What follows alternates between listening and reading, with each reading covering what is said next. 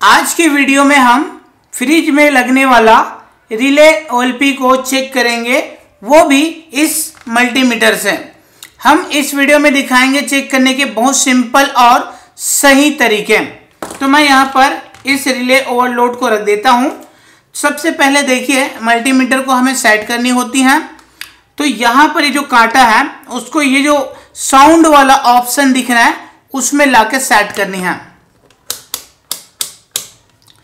तो ये देखिए, हमने इस कांटे को साउंड वाले ऑप्शन पर सेट कर दिया है।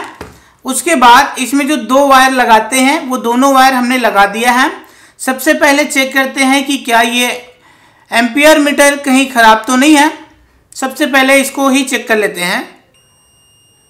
तो साउंड आ रही है मतलब मीटर बिल्कुल ठीक है।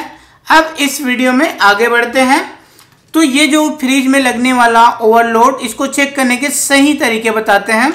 यहाँ पर एक वायर को रखते हैं और ये जो दूसरी वाली वायर है, उसको इस तरीके से टच करते हैं।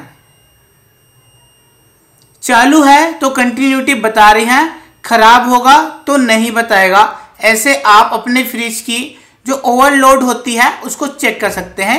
मैं इसको थोड़ी दूर रखता हूँ, ये बिल्कुल ठीक है। यहाँ पर हम तीन तरीके के रिले लिए हैं। तीनों में अलग अलग चीज़ें बताएँगे। यहाँ पर देखिए, तीन पिन वाला रिले है। इस तीन पिन वाले का ये जो रिले है, उसको चेक करने के तरीके देखते हैं ये फ्रिज की कंप्रेसर में कुछ इस तरीके से लगता है।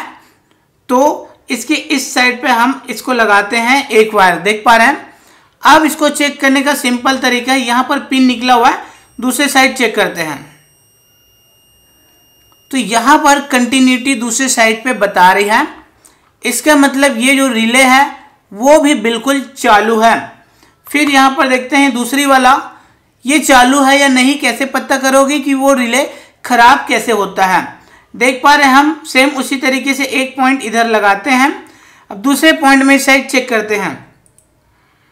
तो आप देख सकते हैं यहाँ पर मल्टीमीटर में किसी भी तरह की कंटिन्यूटी नहीं आई है। हमने दोनों पिनों पे एक एक वायर बिल्कुल अच्छे से टच कर दिया है, फिर भी मल्टीमीटर नहीं बता रहे हैं।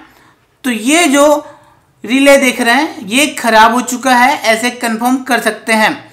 अब बात करते हैं हम, जिसमें सिंपल एक ही पिन होता है, ये देखें।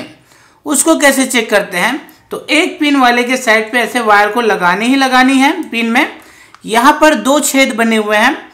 दोनों छेद में हम, देखिए बारी बारी चेक करेंगे, पहले यहाँ चेक करते हैं। कंटिन्यूटी बता रहे हैं। दूसरे वाले पर चेक करते हैं। तो यहाँ पर भी कंटिन्यूटी बता रहे हैं। अगर मान लो दूसरे वाले पे कंटिन्यूटी नहीं बताएगी तो रिले खराब हो सकता है। और बताई तो रिले चालू है। इस तरीके से हम फ्रिज की रिले को सिंपल और सरल तरीके से मल्टीमीटर से चेक कर सकते हैं। दोस्तों, हमारी वीडियो से जानकारी मिली हो। वीडियो अच्छी लगी तो लाइक शेयर कीजिएगा। फिर से लाएँगे नई वीडियो नई जानकारी के साथ।